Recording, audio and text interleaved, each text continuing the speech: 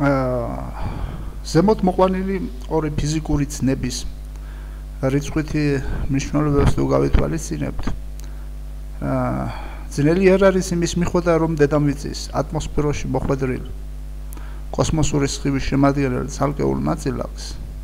მეტად მცირე ალბათობა გააჩნია იმისა რომ დედამიწის ზედაპირამდე მოაღწიოს. აა და მით უმეტეს ზღვის დონეზე როდესაც საუბარი. და დედამიწის ზედაპირიდან დაახლოებით 15-20 კილომეტრის სიმაღლეზე კოსმოსური ნაწილაკი აქტიურ კონტაქტში შედის ატმოსფეროსთან.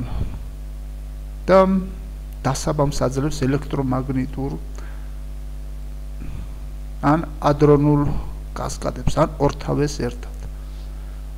აა ხოლო 15-დან 20 კილომეტრამდე ეს დიაპაზონი იმიტომ გვაქვს რომ აა გააჩნია თუ რა სახეობის ნაწილაკი შემოდის და რა ენერგია აქვს მას. და ჩვენ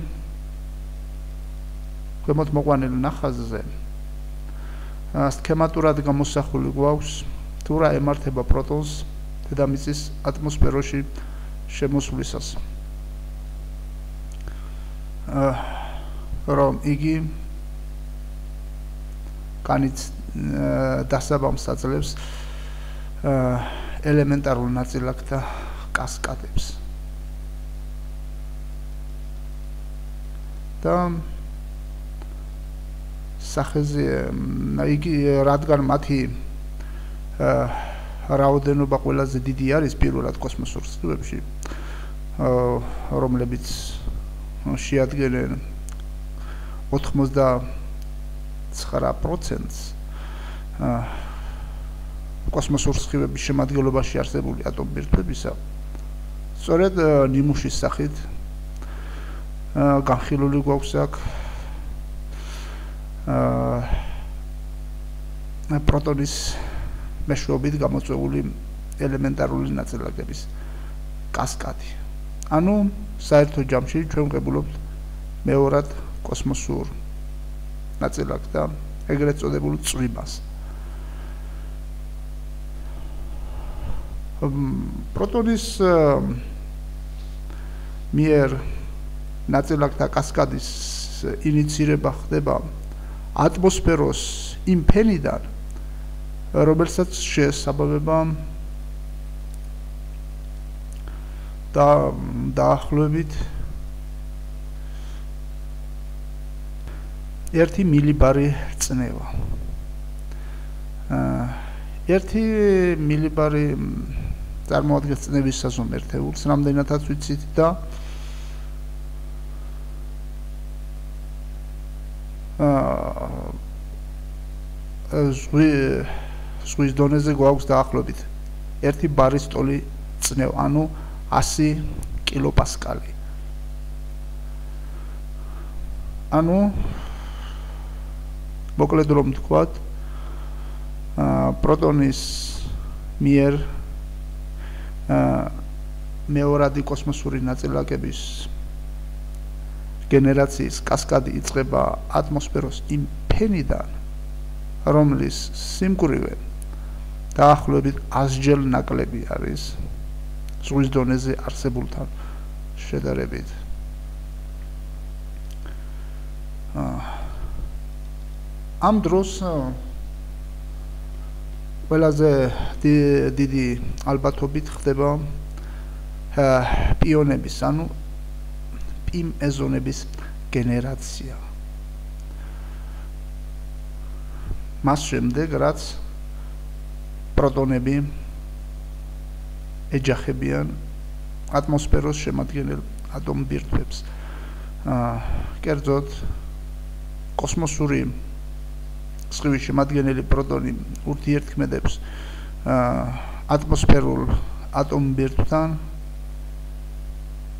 ბირთვის პროტონთან რეაქციის შედეგად კვლავ რჩება ორი პროტონი და ამ დროს მიიღება ეგრეთ წოდებული π ნულოვანი მეზონი, ანუ ელექტრულად ნეიტრალური მეზონი.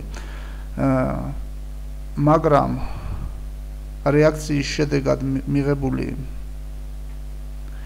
აა ჯამური ენერგია პროტონ რეაქციაში მონაწილე პროტონების თავდაპირველთან შედარებით გაცილებით ნაკლები იქნება.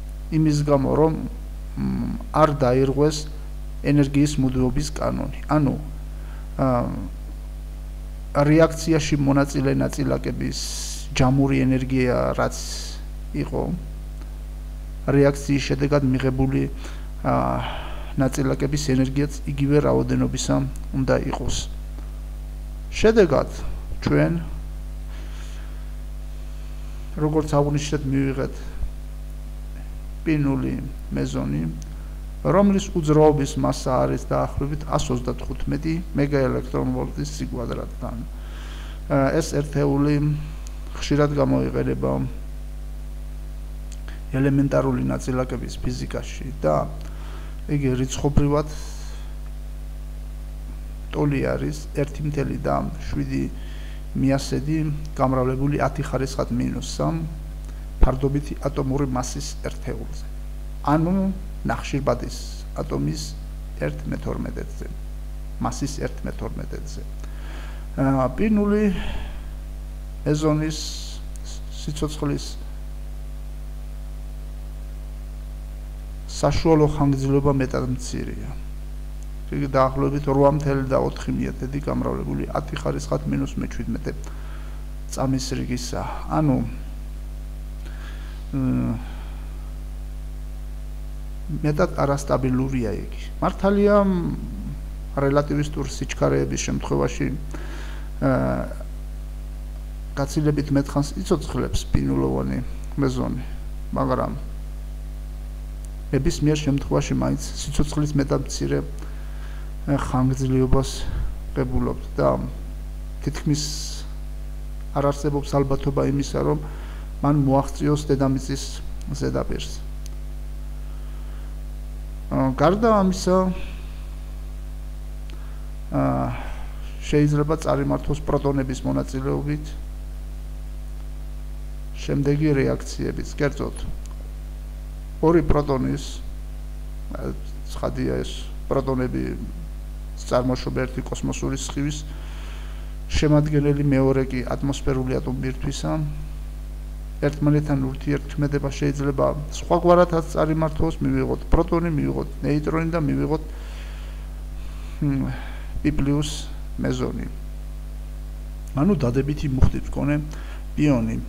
აა ამ დროს ცხადია, კვლავ უნდა შენარჩუნდეს ენერგიის მოძებნობის კანონი.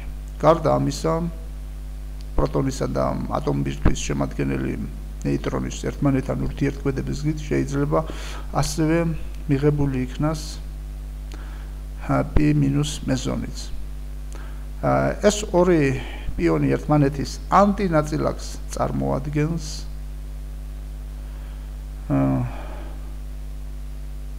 და რომელთა უძრაობის მასა არის დაახლოებით 129.47 მიასედი მეგაელექტრონვოლტი სიკვადრატთან.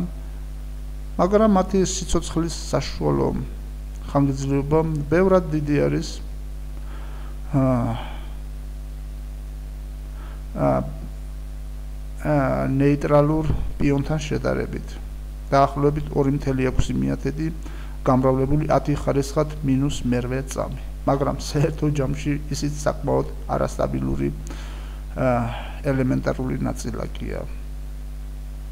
თავისუფლად როგორც აღნიშნეთ, პიონები წარმოადგენენ არასტაბილურ ელემენტარულ ნაწილაკებს და განიცდიან შემდგომ დაშლას. კერძოდ, ნეიტრალური პიონი განიცდის შემდეგი სახის პროცესს. კერძოდ, იგი იშლება ორ გამა კვანტად. და ამგვარად აქამდე არსებული ადრონული კასკადი უკვე გადადის ელექტრომაგნიტურ კასკადში. მაგრამ ისიც უნდა აღინიშნოს, რომ პინული მეზონის დაშლის შედეგად მიღებული გამა ფოტონები შთანთქმის ალბათობა ატმოსფეროს მიერ ძალიან მაღალი არის. კერძოდ თუ შევადარებთ მას აა თვითონ ადრონის შესაბამის აა საშუალო თავისუფალი გარბენის სიგრძეს მივიღებ ამ უკანასკნელი სიდიდის მესამედს.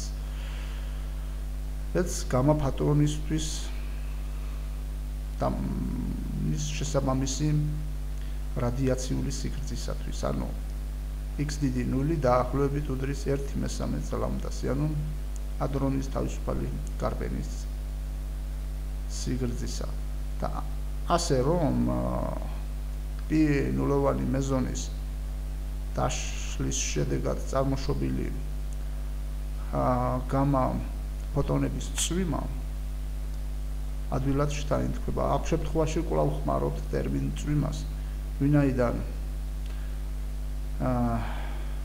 ეს გამა ფოტონები შეიძლება ჩავთვალოთ მეორად კოსმოსურ სხივებად. და შედეგად ასეთი ამ გზით წარმოშობილი გამა ფოტონების ერთობლიობას უწოდებენ კოსმოსური სხივების რბილ კომპონენტს.